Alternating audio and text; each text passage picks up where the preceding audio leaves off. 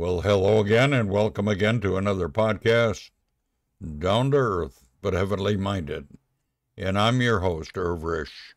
Today we're going to be going through another article, The Promise, the Prospect, Prospect, and the Period. And this is on the coming of the Lord and all the promises that have been made by Steve Hulshizer. In John 14, Christ encourages his disciples by declaring that while he was leaving them, he would return. Let not your heart be troubled. You believe in God, believe also in me. In my Father's house are many mansions. If it were not so, I would not have told you. I go to prepare a place for you. And if I go and prepare a place for you, I will come again and receive you unto myself that where I am you may be also. John 14, verses 1 through 3. Let's take a look at these. The promise. Every believer in Christ has the promise that the Lord will come again and receive him to himself. A reassurance aspect of this promise is the person who made it. It is the Lord himself who made this promise I will come again. God manifest in the flesh has promised to come again. We can take comfort in this.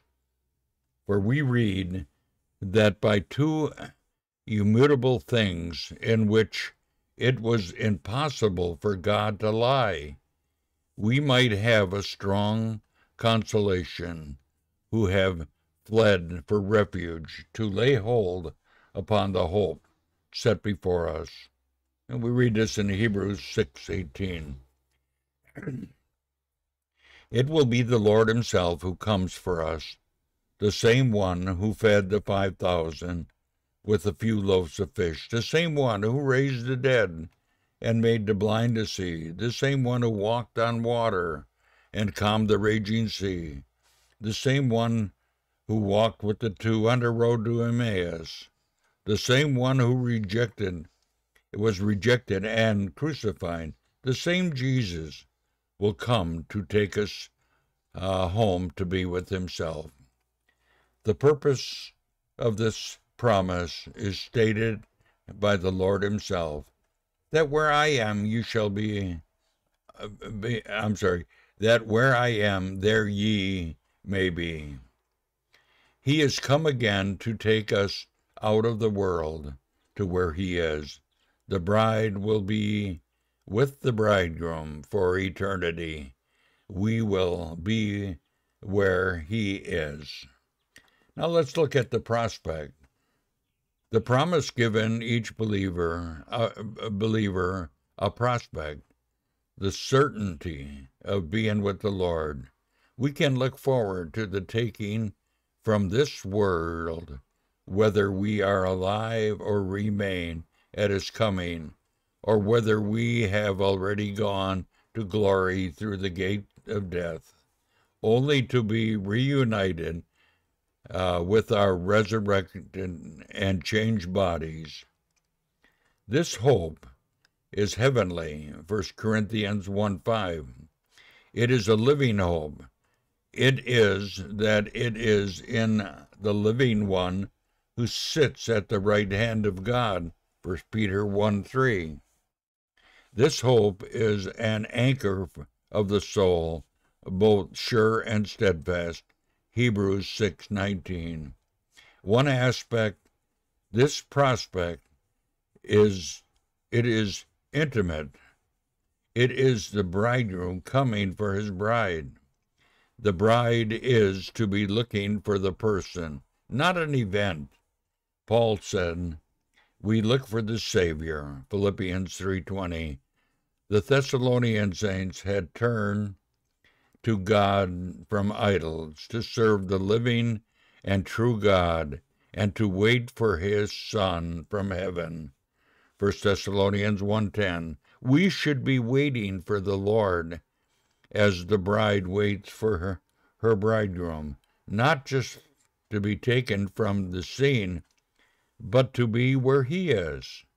Another aspect of the prospect of his coming is immediacy. The Lord can come at any moment. This should keep us from uh, driving our ten pigs deeper and deeper into the world. Now let's look at the period between the period between the Lord's promise and to come again and realize that the prospect set before us is a period of time. It is an indefinite period of time. There are no seven, 70th weeks for the New Testament church. How long this period is, no one knows except God. The fact that this period is indefinite requires us to wait patiently as in the days of Noah, they are some who would question whether the Lord will keep his word. In similar fashion, Israel grew tired of waiting for Moses uh, to return from the mountain and made himself other gods. Idols is an ever present danger as we wait for the Son from heaven in this indefinite period. The period is not only indefinite, but one of increasing darkness, departure, and deception. This means we must be waiting. We must wait, and we must watch. There is to be an expectation. We must not fall asleep, as did the ten virgins. The bright and morning star preceded the rising of the sun, and we will arise in the darkest hour of the day. We must remember the longer the night, the closer the rising of the sun. The period will also be marked by impurity. We must then walk as children of light. We must flee fornication and walk as examples to the dark world around us. Indefinite will mark the in in the indifference will mark the indefinite period of time. This requires the believer to be working. So many are engaged in the affairs of life and are indifferent with regard to the things of the Lord. Worldly events take priority over the gathering of the local assembly and a personal time in prayer and of the reading of God's Word. Now, the provisions. The Lord not, has not left us without provision for this indefinite period of time. The following are some of the things which we have to encourage and enable us to patiently wait, watch, walk, and work until he comes again.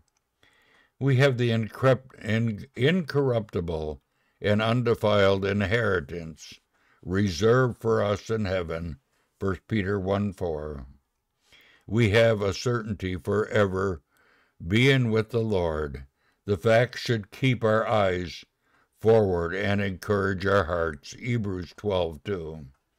We have an unceasing high priest an interceding high priest who ever lives to make intercession for us.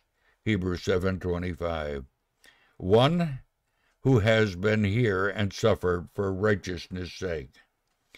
The Lord has given us the indwelling Holy Spirit to comfort us along the way, one who will come alongside to strengthen us during this time.